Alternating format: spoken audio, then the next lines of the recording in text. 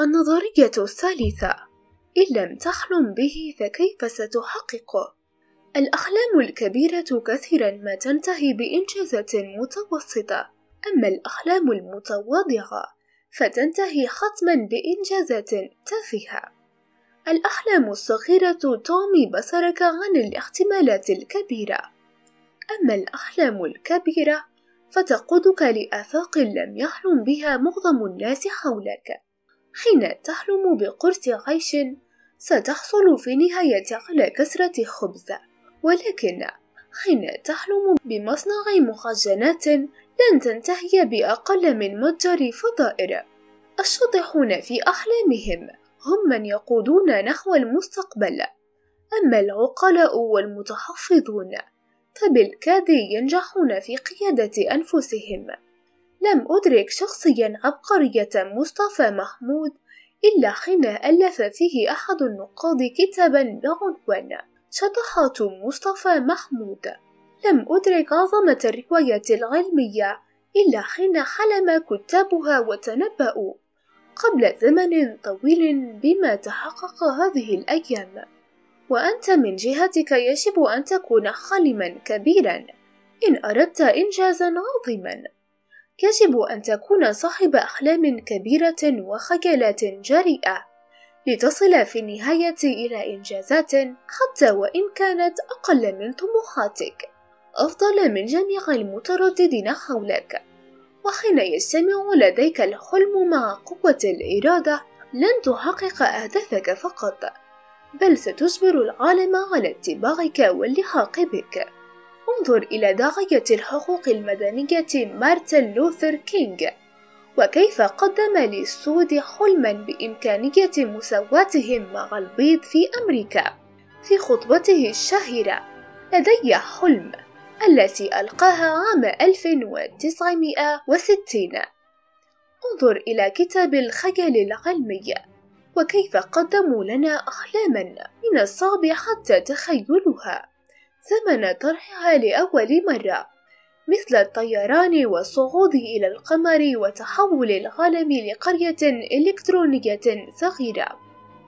ففي عام 1765 مثلا كتب الفرنسي جول فيرن رواية بعنوان رحلة إلى القمر وبعده بمئة عام تقريبا. انطلقت أبولو 11 لوضع أول إنسان على القمر. كتب عن اختراع الخواصة النووية قبل ظهورها بزمن طويل. في رواية ستين ألف فرسخ تحت البحر وحين ظهرت بالفعل أطلق عليها الأمريكان نفس الاسم. أما الدوس هيسكلي فتنبأ عام 1932 بظهور أطفال الأنابيب في رواية عالم جديد شجاع. وتنبأ الإنجليزي آرثر كلارك عام 1980 بظهور الأقمار الصناعية وشبكة الإنترنت في رواية الوليد المرعب. وما فعله هؤلاء الحليمون أنهم قدموا لنا أحلاما استثنائية.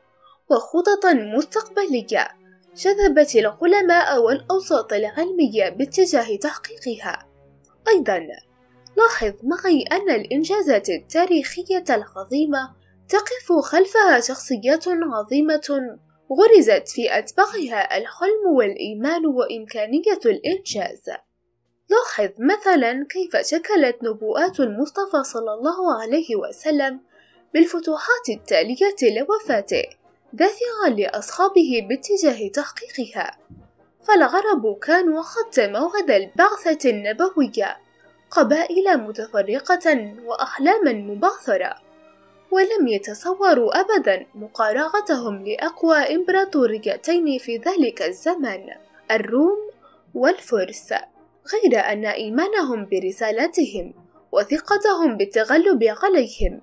ارتفعت بفضل سلسلة من الأحاديث النبوية بفضل سلسلة من الأحاديث التنبؤية المدهشة مثل قوله لأصحابه إن الله زوى لي الأرض فرأيت مشارقها ومغاربها وإن أمتي سيبلغ ملكها ما زوي لي منها.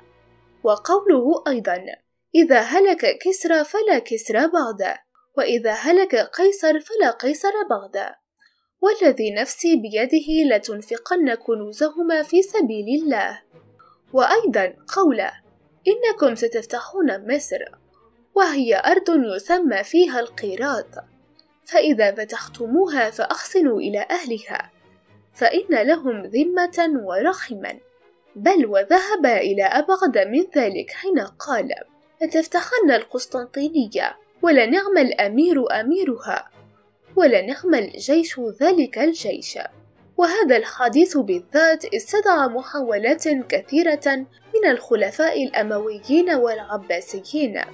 علهم ينالون شرف هذه النبوءة حتى تحققت على يد محمد الفاتح.